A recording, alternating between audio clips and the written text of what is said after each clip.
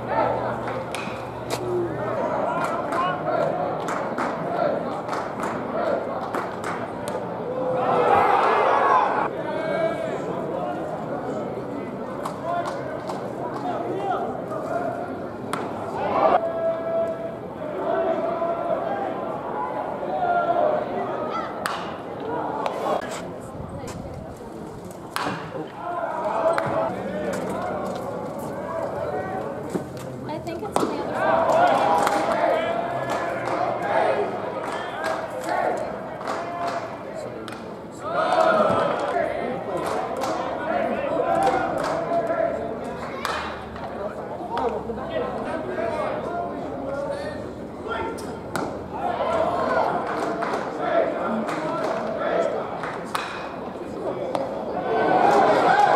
are preoccupied like this, he then appreciate the away weekends.